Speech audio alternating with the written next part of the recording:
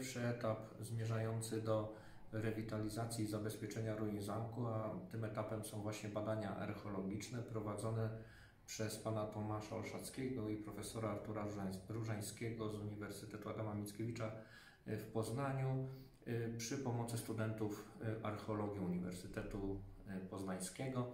Są to badania, które będą służyć opracowania dokumentacji w celu zabezpieczenia ruin zamku oraz późniejszej jego ewentualnie rewitalizacji i dostosowania do jakichś funkcji społecznych. Bardzo się cieszymy, że Pani Wojewódzka Konserwator Zabytków zdecydowała się sfinansować te badania, bo są one jakby fundamentem, podstawą do dalszych działań naszej gminy w celu właśnie przede wszystkim ratowania ruin naszego zamku, zabezpieczenia ich, a w późniejszym czasie właśnie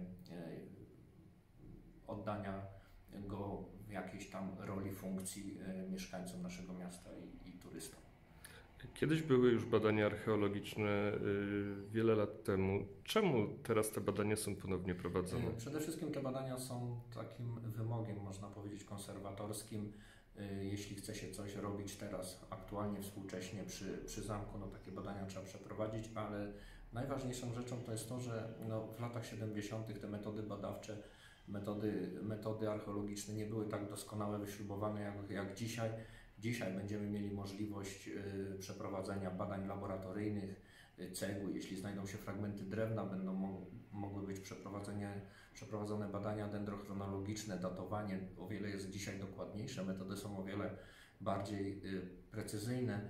Zresztą prawda jest taka, że w latach 70. pomimo kilku sezonów badań jednak wykopy nie były na całym terenie zamku. Są takie obszary, których, gdzie nie wbito łopaty.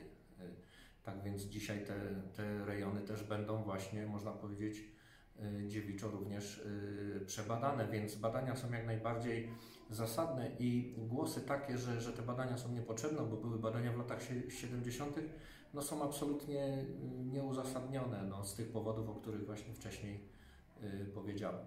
Krążą legendy o ukrytych lochach, przejściach przy naszym zamku. Czy coś w tym może być prawdy?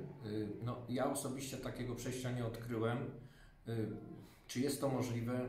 Bardzo w to wątpię ze względów chociażby technologicznych. No, trzeba by wykopać przejście podziemną, pamiętajmy, pod rzeką. Czy, czy ówczesna technologia na to pozwalała? Pewnie tak. Starzy, starzy mieszkańcy y, mówią, że tam były jakieś wejścia właśnie pod y, to wzgórze zamkowe, gdzie oni wchodzili, y, że były jakieś tam takie, no, no trudno powiedzieć, jak głębokie. Bardziej nawet chodzi mi właśnie o to wzgórze zamkowe. Wejścia mogły być, bo trzeba pamiętać, że zamek jest budowlą skomplikowaną i budowlą obszerną.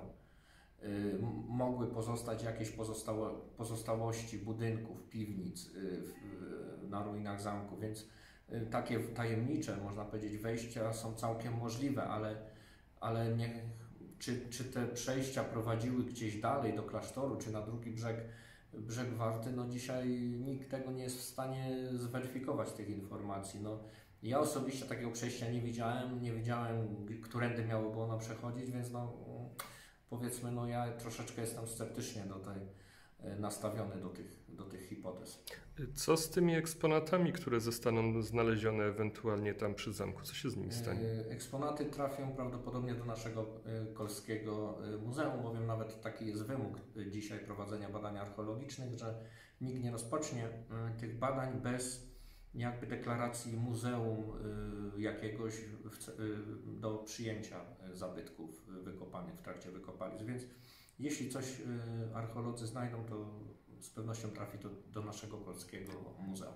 A co panie burmistrzu z tymi eksponatami, które lata temu były znalezione gdzieś są w różnych innych muzeach? Czy jest jakaś szansa, żebyśmy odzyskali je, czy w jakiejkolwiek badania, formie dokoła wrócimy? Te, te, badania prowadziło wtedy Muzeum w Koninie i te zabytki znajdują się, są zarejestrowane w księgach inwentarzowych Muzeum w Koninie i oczywiście mało prawdopodobne jest, żeby, żeby teraz wykreślono te zabytki z ksiąg inwentarzowych w Koninie i trafiły do nas, ale powiem więcej Państwu. Nie mamy na razie takich możliwości, żeby te zabytki tutaj ściągnąć i przechować je, ponieważ to jest ponad 600 kartonów tych, tych, tych zabytków, więc to byłoby raczej niemożliwe. Nie mamy nawet takiego miejsca w dzisiejszym muzeum, żeby je przechować. A druga sprawa, że Muzeum w Koninie z pewnością nie wyraziłoby zgody na pozbycie się tych obiektów. No ale mogą y, dać, y, prawda, w jakieś wypożyczenie, użyczenie, bo i tak zalegają w magazynach.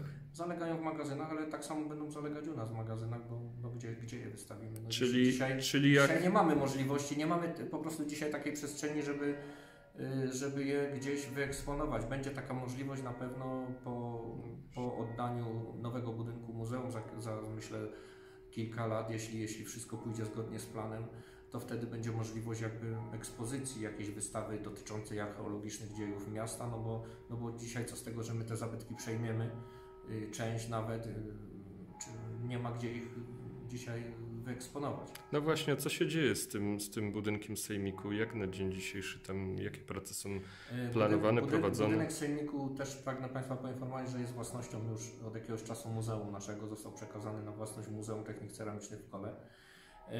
Pan dyrektor otrzymał środki na sporządzenie dokumentacji architektoniczno-konserwatorskiej celem właśnie rewitalizacji remontu sejmiku pod e, działalność muzealną i wiem, że te prace właśnie architektów są w trakcie i dokumentacja jest właśnie wykonywana w konsultacji z konserwatorem zabytków. Ta dokumentacja też będzie, musi być jakby podstawą do starania się o jakieś środki zewnętrzne, prawda? Musimy wiedzieć, co chcemy z tym budynkiem robić, jaką mamy koncepcję na, na ten budynek, więc wiem, że pan architekt yy, działa i sporządza tą dokumentację właśnie.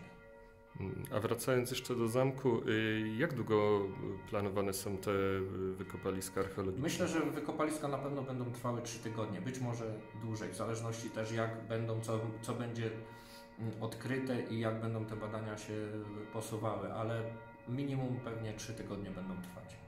Y, a kiedy będziemy mogli się dowiedzieć już jakichś szczegółów o ich wynikach?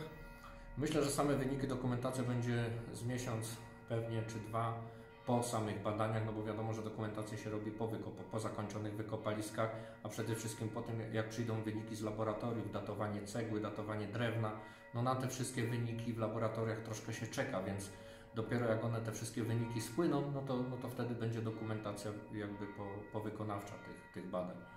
Więc troszkę pewnie po, po badaniach będzie trzeba na dokumentację chwilkę y, poczekać. No ale cieszymy się, że w ogóle y, pani konserwator zabytków finansuje nam te badania, czyli widzi konieczność ratowania, ratowania tych ruin. Zresztą w rozmowie ze mną y, trzeba powiedzieć, że służby konserwatorskie podchodzą bardzo poważnie do ruin naszego zamku i też im zależy na ratowaniu naszego zamku.